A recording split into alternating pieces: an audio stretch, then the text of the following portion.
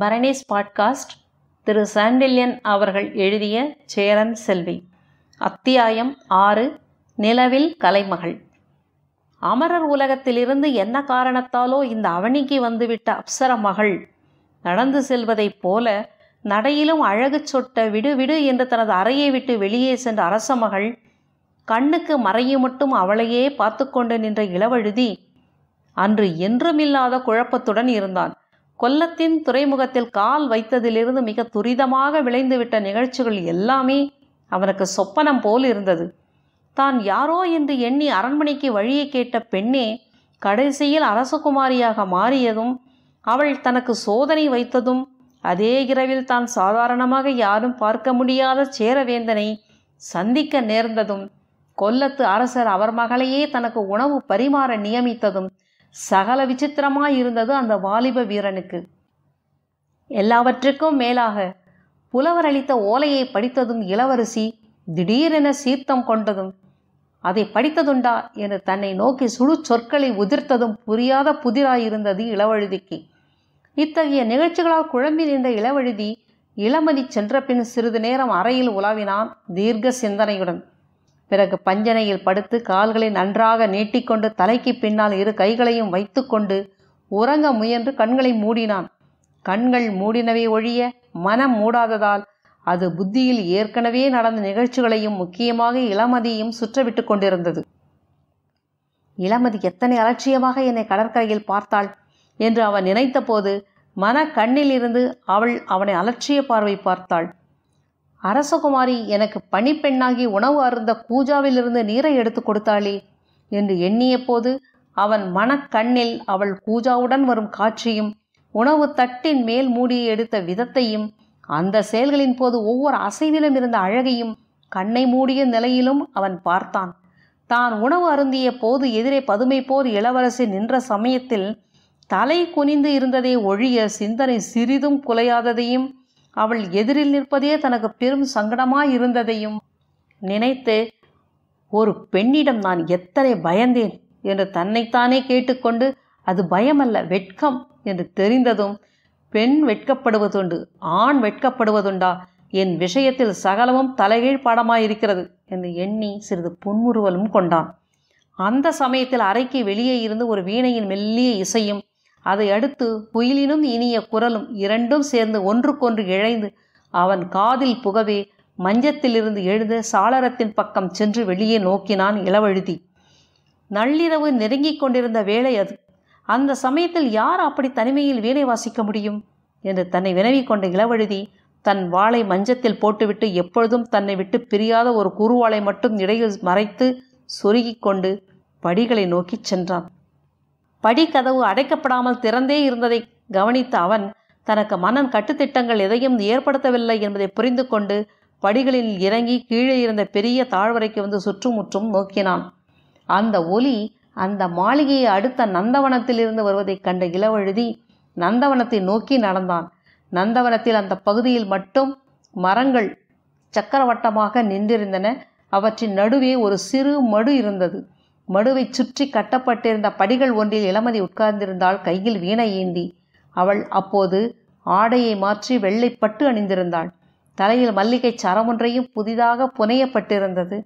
குழல்கள் சிறிது பிரிந்து அவள் நெற்றியில் விளையாடி கொண்டிருந்தன. ஒருவேளை வெள்ளை தாமரையில் வீற்றிருக்கும் கலைமகளே அங்கு வந்து விட்டாளோ? என்று பிரமித்தான் இளவழுதி. கிட்டத்தட்ட ஒரு நாழிகை ஓடியதும் அவள் வீணையை தடுவதை நிறுத்தி வாயால் மட்டும் இரண்டொரு ஸ்லோகங்களை சொல்லி பார்த்தாள். பிறகு அவற்றை வீணையில் வாசித்தாள். இப்படி நிறுத்தி நிறுத்தி வாசித்ததும் ஒரு அழகாய்தான் இருந்தது அவளுக்கு.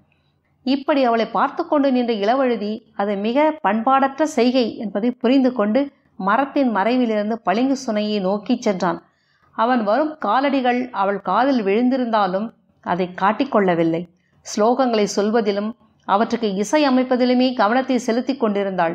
அவள் இசையில் அடியோடு இணைந்து விட்டதை உணர்ந்த இளவழுதி தான் வந்திருப்பதை உணர்த்த மன்னிக்க வேண்டும் என்று குரல் கொடுத்தான்.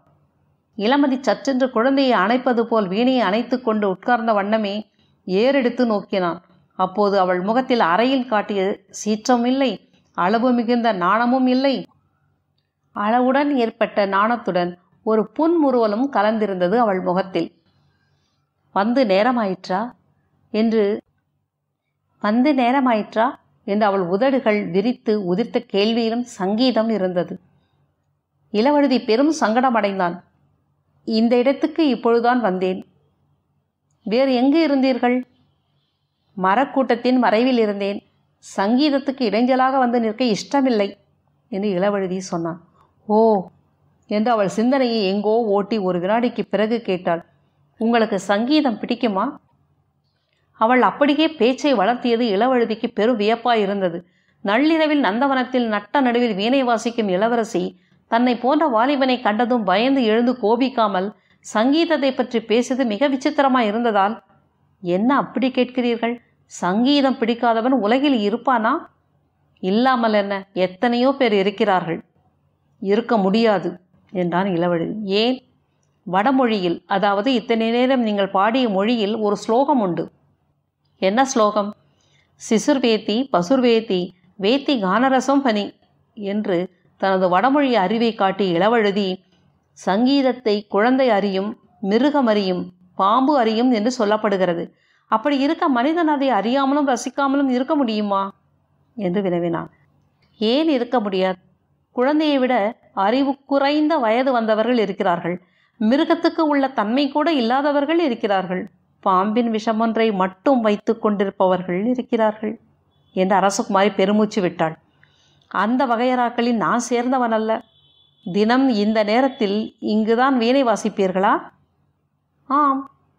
நள்ளிரவு இப்பொழுது. ஆனால் நிலவிருக்கிறது அமைதி இருக்கிறது. சாதகத்துக்கு சௌகரியமான இடம் இது.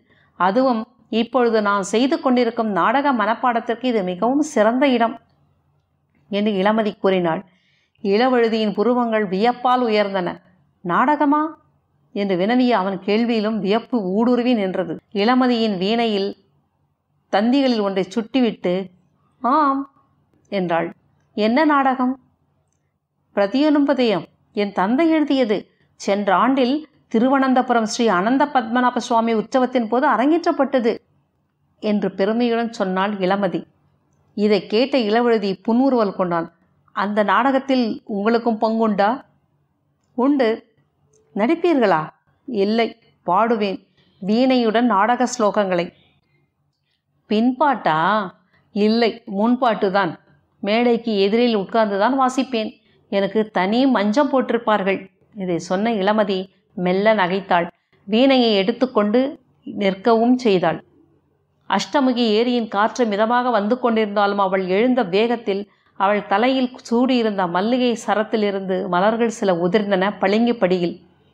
நேரமாகிறது வருகிறேன் என்று சொல்லிவிட்டு அவள் கிளம்பினாள். ஒரு நிமிடம் பொறுங்கள். படியின் மேல் கால் வைத்த காலை அவள் திரும்ப இழுத்து கொண்டாள். ஏன்? நான் கொண்டு வந்த ஓலையில் என்ன எழுதியிருந்தது? எதற்காக கேட்கிறீர்கள்? அதை படித்ததும் உங்கள் முகத்தில் சினம் தெரிந்தது. கோபத்துடன் சென்று விட்டீர்கள். அப்படி கோபம்படியாக என்ன இருந்தது? அப்படி என்ன எழுதியிருந்தார் புலவர்? இளமதி அவனை என் நன்றாக ஏறெடுத்து நோக்கினாள். அதை என் தந்தையிடம் கேளுங்கள் என்று கூறிவிட்டு நடந்தாள். இளவழுதி பெரும் சிந்தனையில் ஆழ்ந்தான். தனக்கே புரியாத ஏதோ பெரும் அரசியல் சங்கடத்தில் புலவர் தன்னை அழித்து விட்டதை அவன் உணர்ந்தான். அந்த உணர்வுடன் நந்தவனத்தின் மரக்கூட்டங்களுக்குள் நுழைந்து சென்றான். இந்த அரச மகளின் இசைத்திறமை எத்தகையது? என்று வியந்து கொண்டவன் உள்ளூர இந்த அரச மகளும் ஒரு கலைமகள்தான் என்று வெளிப்படையாக சொல்லவும் செய்தான். அதை நமக்கு பயன்படுத்தியும் கொள்ளலாம் என்று அவனுக்கு பின்னால் இருந்த ஒரு குரல் கேட்கவே சட்டென்று திரும்பினான் இளவழுதி. அந்த மரக்கூட்டத்தில் மற்றொரு பகுதியிலிருந்து ஒருவன் வெளிவந்தான். அவன் நடையில் ஓசை எதுவுமில்லை பூனை போல் நடந்து வந்தான். நடையில்தான் பூனையை தவிர அவன் கண்களில் நரியின் தந்திரம் இருந்தது புலியின் உக்ரம் இருந்தது. மர இலைகளின் இடுக்குகளின் வழியே வந்த முழுமதி கிரணங்கள் அந்த மனிதன் முகத்தை நன்றாகவே எடுத்து காட்டின. இளவழுதி சற்றென்று தன் கச்சையில் இருந்த குருவாளை எடுத்து அவனை நோக்கி நீட்டினான். ஆனால் அந்த மனிதன் அதை கண்டு அச்சப்படவும் இல்லை. அவன் இடையில் இருந்த குருவாளை பதிலுக்கு உருவவும் இல்லை. நமக்குள் சண்டை அவசியமில்லை. பேசாது என்னுடன் வா. உனக்கு பயன் உண்டு என்றான். அத்தியாயம் ஆறு. படித்து விட்டோம். ஏழாவது அத்தியாயத்துக்காக காத்திருங்கள். வணக்கம்.